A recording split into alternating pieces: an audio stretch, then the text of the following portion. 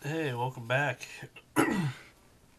part two, part two of the Franky Slawson, which is myself, answer your guys' questions.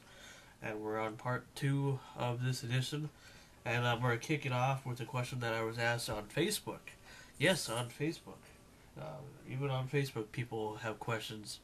Uh, this guy, he, uh, his name's Brandon Jett, and he actually, uh, well, he wanted to ask this on YouTube, but he, he decided to ask me on Facebook, so I told him I'd answer this uh, when I made my next video.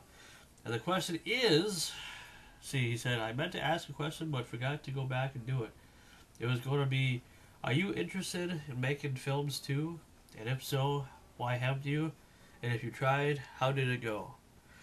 It's like, well, the thing is, and I kind of, you know, I had a chat with this guy, uh, with Brandon a little bit, and I, I told him, I said, yes, I am, you know, I would definitely be interested in making some films, actual film films. Uh, I've talked about this with, uh, with Brendan too, uh, as far as, uh, uh, making a, a, film, doing something like a collab. Like next time he ever did like a Night Owls movie or a little short film, that I would be more than happy to to play a little role in it. You know, you don't have to pay me. I mean, I do it for free. I mean, more likely it'd be a free movie anyway. You know, or or even if a cool dude ever wanted like me to do something for with him or whatever, or uh, or us like you know everybody's been talking about you know wet movie and cooler and myself doing a movie together doing something together god i would love that. That would be excellent you know. The only problem is over here in minnesota you know where i am see they're lucky. They live in california. They you know they live where you know it's easy to, to get job you know little film jobs here and there.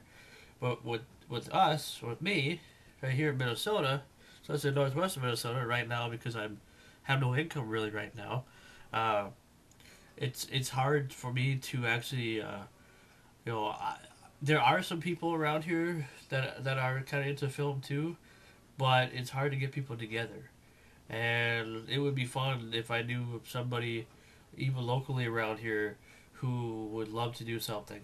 You know, love to do a short film.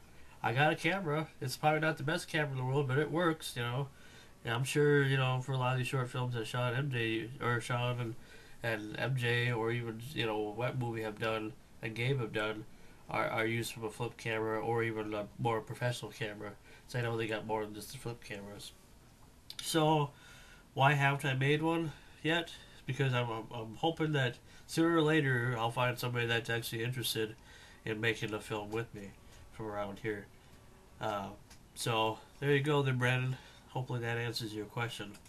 And I want to let people know you guys can continue to subscribe because very soon uh, we were going to do a show tonight, but I'm not too sure yet because I, you know, after this video goes, I have to go and and uh, I have to uh, I have to go and mow a yard or whatever after I make this video, so I don't know if I'll be back in time. But I guess you'll know. I, I put a thing on there for the for us or whatever that we'd do a show tonight, but we're not, I'm not too sure yet if we will. If we don't do one tonight, then I'm probably going to do one either tomorrow or Saturday for sure. Because uh, I think it's supposed to rain out here whatnot uh, on that. But let me get to my channel here. Let me get to my videos here. Uh, so I can continue answering some questions. I, I appreciate everybody's feedback to the uh, last video that I made. Uh, to the video I made posted on Monday, uh, which had to do with everybody's questions that they had asked uh, or that I answered so far. And I know I kind of maybe pissed off a couple people, but you know, hey, it just goes with the territory, I guess, sometimes. You can't always make everybody happy, I guess. Even if you try. but, uh, yeah, so, yes, let's continue. Now, I gotta remember where I was here. Let's see. Because it's just a few questions. See, I wanna I wanna answer all these questions, but you know I know that it's gonna take me a long time to get to these. So I think uh, I think this will probably be my last part as far as answering all the questions that I choose to answer, because there's there's a section here for the guy by the name of, and I will tell you his name, the collector fan who actually asked me 40, believe it or not, 40 different questions that are all like really short short answer questions but that I know I can probably in one one video I can probably answer every single question in, in, in a good length of time or whatnot. So the next video that you see will either be a review, a movie review that I of a movie I just recently watched, or or it will be uh, one or the other anyway.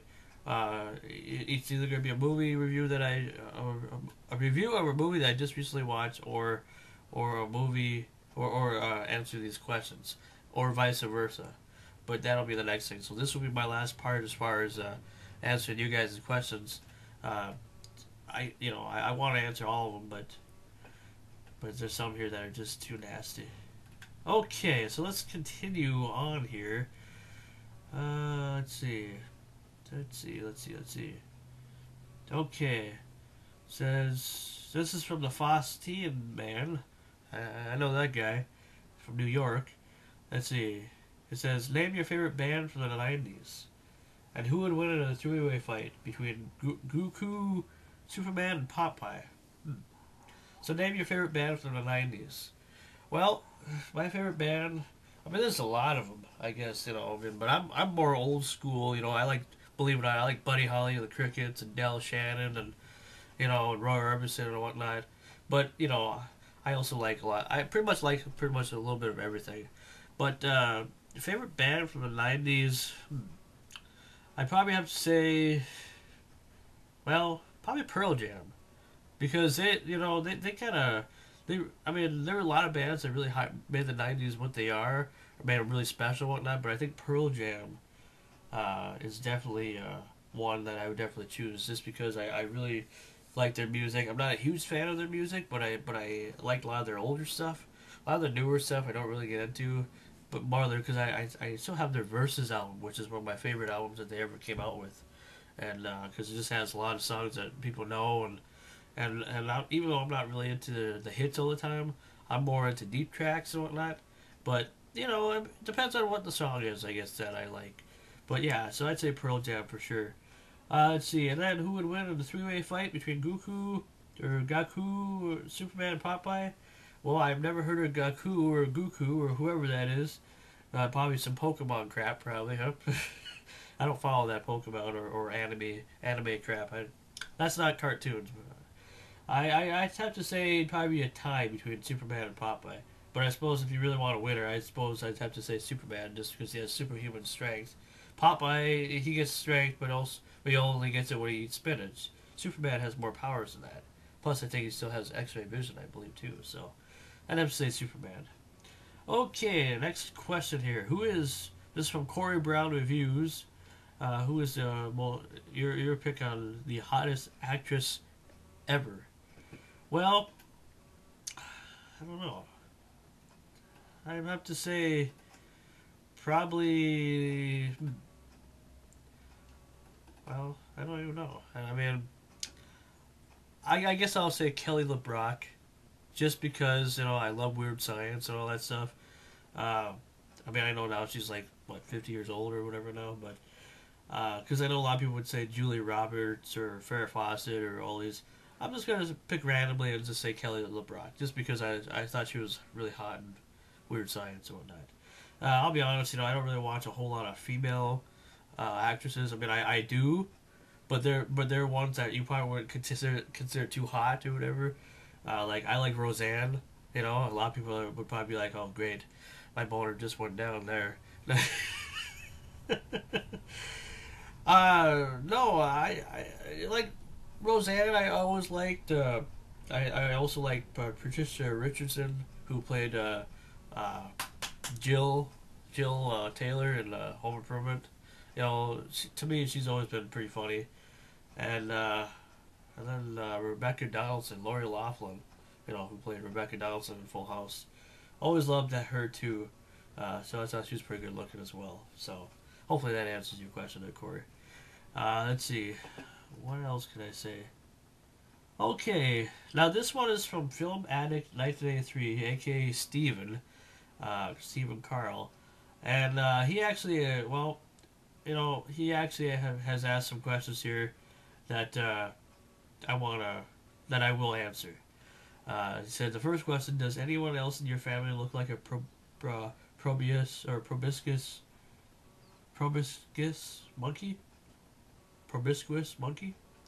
Well, I don't know what a proboscis monkey is, but but uh, I'd have to say no. Okay.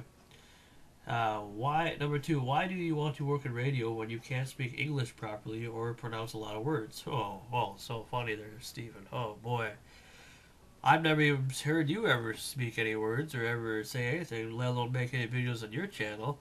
You know, I know we've talked about that before already, but uh, it seems like a lot of people agree with uh, some of these questions. They, at least 14 people liked what you what you wrote anyway.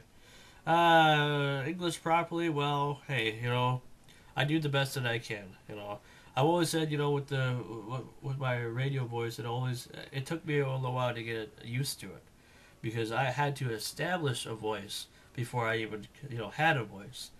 And what I mean is that I've always been nasally, okay. And I'll be honest, for those of you who don't know much about me, yes, I was born with a cleft palate. What's a cleft palate, you may ask? Well, it's where you have a hole in the roof of your mouth, and all the air that normally goes through your mouth or whatever goes through your nose or whatever else, hence sounding a little nasally. Now, it used to be really bad back when I was a little kid, you know, before I had braces and stuff like that. And if I would have had all the surgeries that I've had when I was little, I, I don't know. I was told that I wasn't able to talk till I was like four years old or whatever, and it was hard for, even then for me to pronounce words and whatnot. So, I don't know. Uh, now I just can't I don't know when to shut up, you know. So I don't know. But once I started doing radio, when we used to like, uh, well, we used to uh, do like, uh, what does I say? We used to do, well, let's see, like tape, like no, I, uh, tape checks or whatever, audio checks or whatever. You know, we we'd uh, we'd uh, air che- air check air check tapes, and we listen to ourselves after our broadcast or whatever, and you know, I didn't really like how I sounded. I thought it sounded pretty horrible, but but then after a while, I just got used to it. And people that started listening to me when I had my own show and all that stuff, hence the Franky Slawson show. Yes, I did have my own show at one time. Uh, that went that went for about three years, by the way. Just so you guys know, for those who don't think that I could ever do radio or whatever, three years to have your own show to kind of do whatever you want, plus interview over thirty-five different celebrities uh, or, or guests or whatever, other than just regular people, I think that's pretty uh, uh, quite the accomplishment, I would say. Anyway, so it just took a little while to get used to that. You know, I didn't like how I sound. Even today, I still think that when I hear myself, that's not the way I sound when I when I hear myself. But, ah, whatever, I guess. Okay, so let's see. Uh, okay. And then, how can you justify asking for handouts when you have a place to stay for free, over 500 movies, and free food to eat? Well, I will correct you on that one, first of all. I actually have over a thousand movies. and free food to eat. Free food? No, no, no, no, that's not free food. Now, I might get EBT and all that stuff, but that's only because it's based on, you know, you know that the fact that I'm low income. If I start to make money again, I probably, you know, I'll have to pay for it myself. You know, yes, the government pays for it for right now, so technically it is kind of free, but technically it's not. And plus, I still help my folks out. You know, ever since I moved back here, I've been trying to help them out. You know, uh, by doing a little extra charge for them and whatnot, so that you know it looks like I'm actually you know helping out and, and not just being a freeloader or whatever. Uh, and then uh, place to stay for free. Yeah, okay, I do have a place to stay for free. I don't have to pay rent. But in, in a sense, I'm kind of helping my family out with my EBT card, you know, here and there, uh, just because uh, it's just you know the the best thing I think I could do. Like I said, I am helping out a little bit, you know, the best that I know how, you know, until something comes up or whatever. So anyway, let's see. Oh, let's see.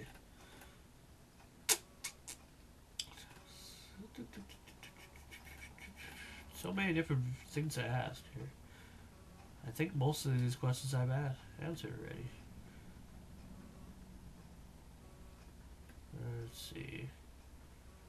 Okay, here's one. What is your most favorite 80s horror movie? And please give the Philly movie guy a shout out. Well, there you go, Philly movie guy. How's it going? go subscribe to the Philly movie guy. Okay. Let's see. Favorite 80, 80s horror movie?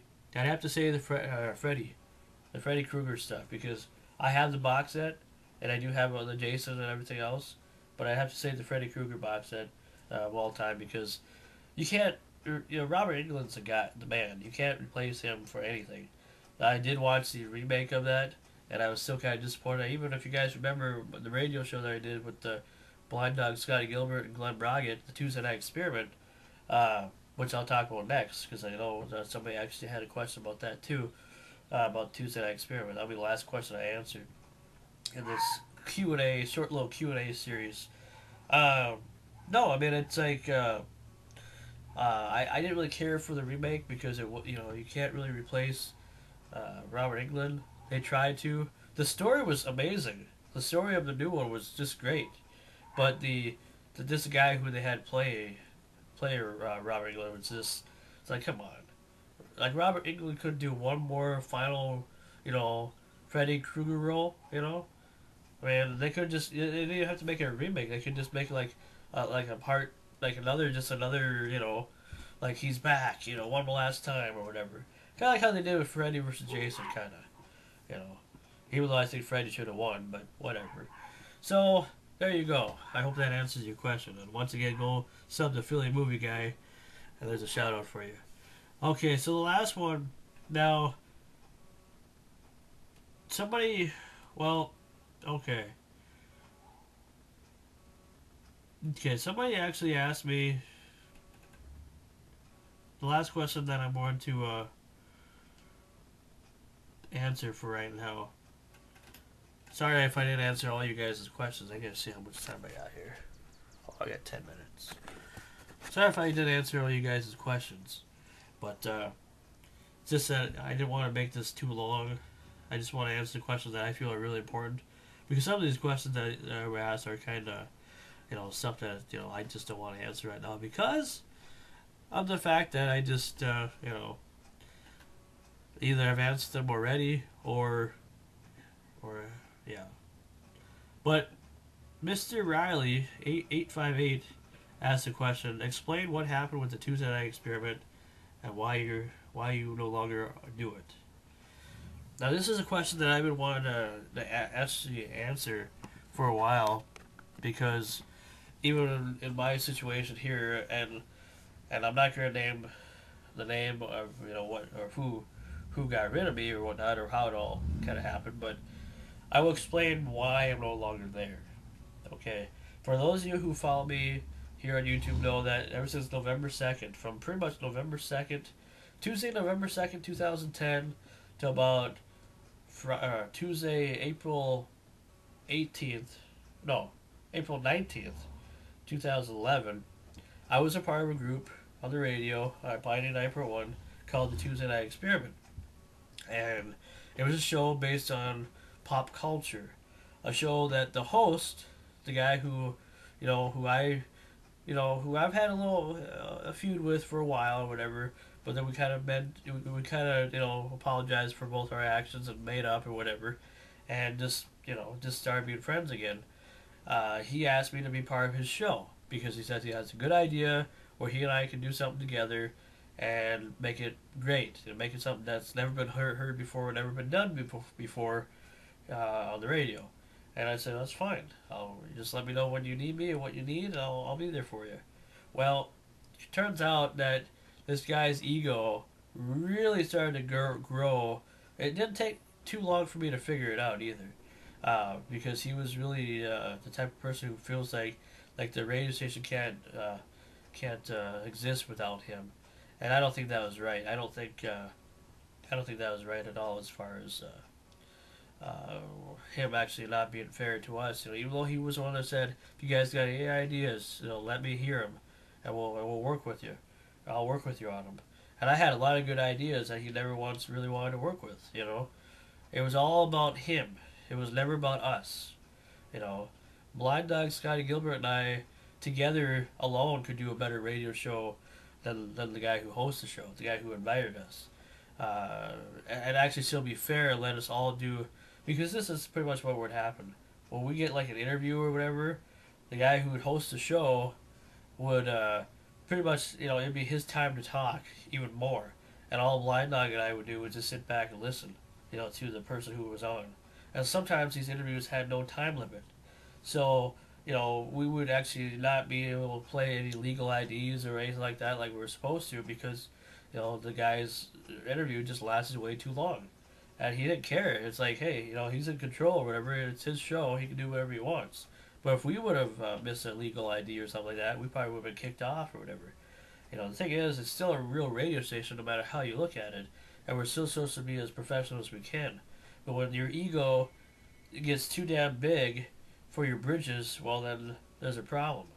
So I, I pretty much just, you know, what happened was to me, uh, I, I'm gonna let that phone ring. I don't, I'm not gonna answer it, whoever it is.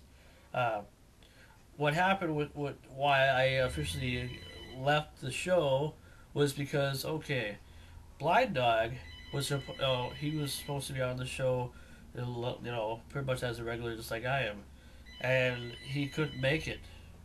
Uh, that that Tuesday, April nineteenth or whatever, he couldn't make it to the show. So, what happened was that he said he had to go to Grand Forks because uh, he was going with you know another friend of mine to Grand Forks, and he wasn't sure if he's gonna be back in time. And I said, okay, just make sure you let the host know, so that he knows that you're not gonna be there, because I think I could even you know you know the host and I could host do a show together, no big deal. But anyway, so we did a show, or we did, or well, we didn't do a show. We just find out that you know Blind Dog, you know, his schedule kind of was off a little bit, so he he wasn't able to, you know, he he called the host like a half an hour before the show started, and uh, let him know that he was going to be there, and said he would just do a phone in. Well, what happened was that the host of the show got mad at me because I he's he was blaming me because since I knew about it, you know, that he wasn't going to be there, he thought that it was I was supposed to let him know, let the host know, you know, just to give a heads up. And and the thing is, I did let him know like a few hours before the show was supposed to start, you know. But he got all pissy and moaning and all that about me and everything. He just, I don't know. And and and the thing is, I mean, I'm not trying to start no fight with this guy or whatever. I, the, the simple matter of the fact is that I'm not going to do any more work with this guy not in the future or anything else. I'm sure he might find this, you know, and play this on his show, and that's fine. But I want people to know the real truth.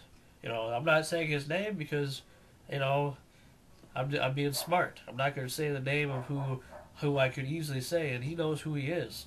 He knows that he, he owes me a big apology as far as uh, just to let me leave like that. I walked out not because I really wanted to, but because I I felt like I was, you know, I'm sick and tired of being pushed around. When I thought this guy was supposed to, he, he said he he said he's always uh, stepped up for me, stood up for me, and all that, and and come to find out, if that would have been true, then you wouldn't have uh, just let me leave like that, you know. You wouldn't have blamed me for Blind Dog not being there, uh, you know, not being able to show up. I mean, it's not like it was the biggest deal in the world. And we've showed up for every other episode that we've had and this first time that one of us was missing. So I just said, I finally just had it. I said, you know what? I'm done. I'm done with the Tuesday night experiment. I don't want to leave. I really would rather just stay, stick around and be a part of the show because I, I like it. I like being on the radio, but I'm not going to put up with anybody's bullcrap as far as uh, an ego. He claims that he doesn't have an ego, but I know he does. And even Blind Dog knows he does. Now they're trying to find a, a, another person to replace me, but so far they, as far as I know, they haven't done it yet. Of course, I haven't listened to the last couple episodes, so I don't know if they have or not. But the thing is, it'll never be the same now that I'm not there no more. It's just, and I told Blind Dog, you know, give it time. The host is gonna, the host is gonna do the same thing to you too as he did to me. Just give it time. It doesn't matter how how long you know each other. I've known him for about, about eight years or whatever and he still did this to me. He felt like I was never going to be able to host my own show again. So, you know, and he said that you know I would never like he's earned the right to do all this stuff. Well, I have too, because I I was on the station just as much as almost as, as long as he was, and I and I busted my butt and cut my teeth to just to get to the top of the mountain as well. But I never once got any respect for it. As far as from the people that I should be getting respect from, he never once ever you know said that you know like apologized to me for anything. Every time I ever had to apologize, it was always my fault. Like it was never his fault. So That's why we're never gonna work together again, and that's the real reason why the Tuesday night, why I left the Tuesday night experiment on Tuesday, April nineteenth, two thousand eleven. So there you go. Hopefully that'll answer all the questions for you guys. Sorry I didn't answer everything, but uh, we're gonna be making a separate video answering uh, who's that guy's name now? The film collector. Let's see. I think yeah, the collector fan. I'll be making a video based on uh, answering all you guys' questions or your questions here in the next one, or after my movie review. So I'm Franky Slawson. I better go answer the phone. So we'll see you guys next time, and thank you once again for sending in your questions. I hope I made everybody happy. Bye bye.